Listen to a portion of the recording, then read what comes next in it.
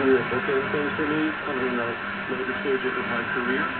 Um, but in that book, I did have a couple of pages where I compared the San Antonio Spurs uh, of the last, you know, 12, 14 years to that Knicks team, and I, I posited that if that team that San Antonio in the East, they would have been considered the second coming of the old Knicks.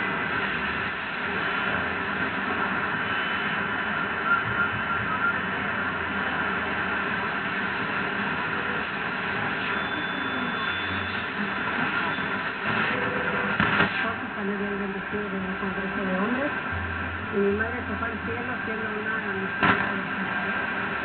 Y su amor era tanto para el sembrador que cuando ella falleció nos dijo, no quiero ¿cómo que no se? Era de nacional sembrador. Gloria a su amor. you know, as a journalist, openly roots, but I definitely, you know, from the early 2000s on, you know, took the life and the success of that team.